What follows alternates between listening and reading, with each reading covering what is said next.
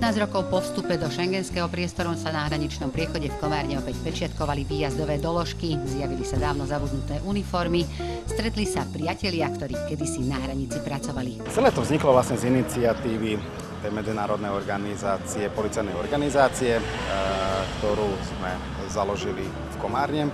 A pri tej príležitosti, aby sme e, spravili nejaké stretnutie policajtov, bývalých policajtov, policajtov z Maďarska, zo Slovenska a zo Slovenska teda, tak sme sa rozhodli, že niečo také zorganizujeme, každý niečo do tej výstavy donesie a takto vznikol celý ten nápad. A tak sa deň pred 1. májom niekdejšia colnica v Komárne obliekla na jeden deň do starých šiat, kým chlapia chlapci obdivovali zaparkované vozidlá, ktorých bolo skutočne neúrekom.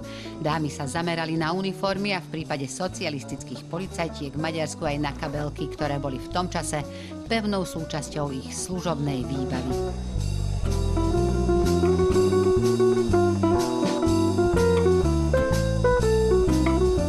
Toto je výstava, by som to kľudne nazval všetkých ozbrojených síl Slovenskej Maďarskej republiky, lebo tu nájdete e, colnícke veci, policajné veci, armádne veci. Tým, že je to hraničné mesto, aj bolo, aj bude asi, ale už tá hranica nebude, že nebudú tie dlhé kolóny aut a čakajúcich na to, aby prešli cez hranicu.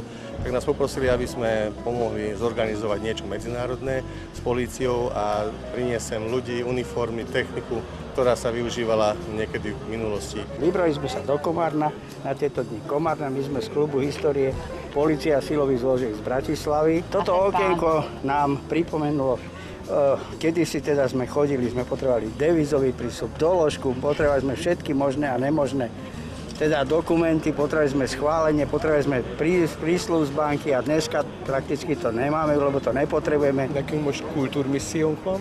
Máme kultúrnu misiu. Nás tak volajú v Maďarsku, že úsmevná tvar polície. Keď nás uvidia v rôznych rovnošatách, tak si každý spomenie na zašlé časy, na dedov, babky, na svoju mladosť. To retro strašne ľuďom pripomína niečo a či to bolo alebo dobre alebo zlé, podľa mňa nie je podstatné. Podstatné je to si to pripomenúť, keď to bolo zlé, tak si to pripomenúť preto, aby nás to odstrašovalo a keď to bolo pekné, tak sa z toho tešiť.